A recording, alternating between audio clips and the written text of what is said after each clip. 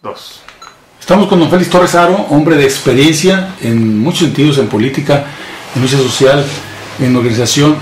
Don Félix, eh, pregunta obligada porque estamos a unos días de la selección de candidato a gobernador Nayarit 2011. ¿Cuál ha sido el mecanismo para designar los candidatos al gobernador? Bueno, mira, por lo regular o por lo general, es el centro de la República, es la Ciudad de México, donde toman las decisiones de quiénes serán los candidatos, sobre todo aquí en Nayarit. Nos vamos a remontar, por ejemplo, a hace 60 o 70 años, cuando llegó don Gilberto Flores Muñoz de gobernador de Nayarit, su padrino Gonzalo N. Santos, el famoso alazán de San Luis Potosí. Posteriormente vinieron de gobernadores José Limón Guzmán y Francisco García Monteros. Su padrino de ellos fue don Gilberto Flores Muñoz. Posteriormente, en 1963, viene de candidato a gobernador y de gobernador el doctor Julián Gascón Mercado. Su padrino, el doctor Gustavo Vaz, el que creó el famoso grupo Atlajomulco. Posteriormente viene de gobernador Roberto Gómez Reyes. Su padrino fue Martínez Domínguez, aquel famoso político con mucha fuerza en el centro del país. Posteriormente viene de candidato a gobernador y de gobernador Rogelio Flores Curiel. Su padrino, Luis Echeverría Álvarez. Enseguida vino don Emilio M. González. Su padrino, su gran amigo de él, don Fidel Velázquez. Posteriormente viene de gobernador Celso Delgado.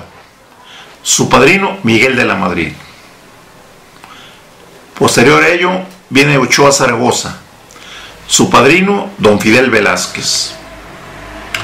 En 99 viene Don Echeverría, quien vino por partidos ajenos al PRI y su candidatura se amarró en la Ciudad de México, entre los líderes nacionales de PAN y PRD.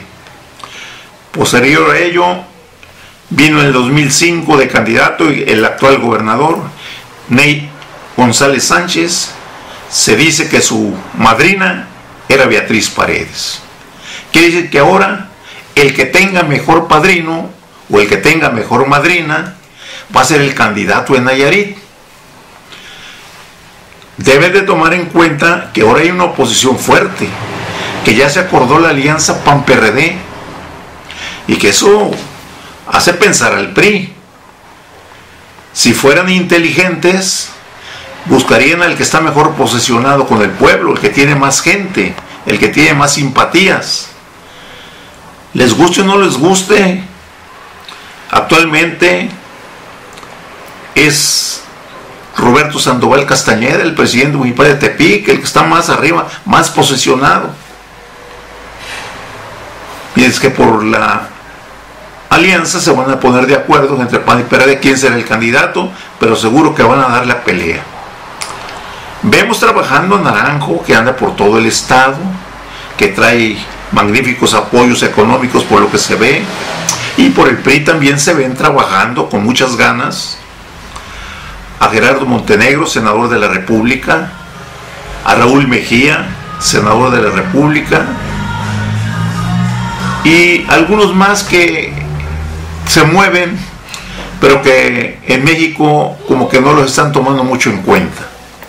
Entonces aquí en Nayarit será México el que a la hora de la hora va a decir quién va a ser el candidato del PRI y lo mismo la oposición en el centro se pondrán de acuerdo quién será su candidato. O sea que no le busquen el que tenga mejor padrino es el bueno. Eso nos enseña la historia. El que ha tenido mejor padrino es el que va no el que tenga más gente como que no cuenta mucho la gente, como que en México no les interesamos mucho, como que en Nayarit nos ven muy chiquitos, no nos dejan pensar a nosotros solos. A nosotros ya nomás nos mandan los candidatos para que votemos por ellos, pero no permiten que se decida aquí en Nayarit. Y hay muchos juegos de intereses, sobre todo ahora que se ve bastante corrupción en los gobiernos. Desde algunos 10 años para acá ha aumentado increíblemente la corrupción. Yo leí hace días en el Universal que Francisco Villa decía hace 100 años que él renegaba contra los gobiernos que gastaban y se robaban el dinero del pueblo. Pues sigue pasando lo mismo, a 100 años, como que la revolución no nos trajo nada por ese lado. Don Félix, ¿quiere decir entonces, si es por padrinazgo, Mejía es el más probable? Bueno, si es por padrinazgo, Gerardo Montenegro tiene el Bester Gordillo, que ahorita anda apoyando por lo que se ve a Peña Nieto. Raúl Mejía. Calderón también. Sí. Raúl Mejía, que lo apoya por lo que se ve. Emilio Gamboa Patrón y Mario Fabio Beltrones. No sé, doña Beatriz Paredes por dónde esté apuntando. Y yo no sé quién tenga Roberto Sandoval de padrino. No se ha sabido que tenga un buen gallo de padrino en México. Él tiene mucha gente. Pero por lo que vemos no cuenta tener mucha gente. Félix Torres tuvo gente y no llegó. ¿Su servidor? Usted, Bueno, yo fui un hombre que en todas las encuestas leí en primer lugar. Y se negoció en México de que Nayarit tenía que perderse. Porque venía la elección del 2000, donde el PRI iba a entregarle el gobierno al PAN porque así habían quedado en el 88 entre Carlos Salinas de Gortari y, este señor Fernández Ceballos, de que en 12 años venía la alternativa, entonces del 88 al 2000, y, y les cumplió Salinas, les entró el gobierno federal, se los entregó.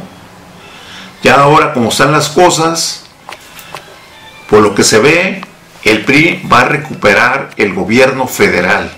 Yo pienso que va a ser para bien, porque hay gente muy experimentada y que tenemos confianza en que pueden buscar la estabilidad del país. Yo siento que ahí tenemos gente a nivel nacional que puede encontrar los caminos para que venga la seguridad en toda la sociedad de México. Don Félix, nuevo milenio dentro del PRI, ¿cuál le va a ser su actuar? Bueno, mira, nuevo milenio estamos tranquilos, quietos ahorita, que se acomoden las cosas. Hay mucho jaloneo, hay mucho jaloneo, hay condicionamientos, quieren hacer negociaciones, no se ponen de acuerdo. Vamos a esperar ahora en enero a ver qué pasa y ya entonces tomaremos la decisión correspondiente a quién vamos a apoyar. No traemos compromiso ahorita con nadie. Gracias, don Félix Torres, por su comentario. Al contrario, que Dios te cuide.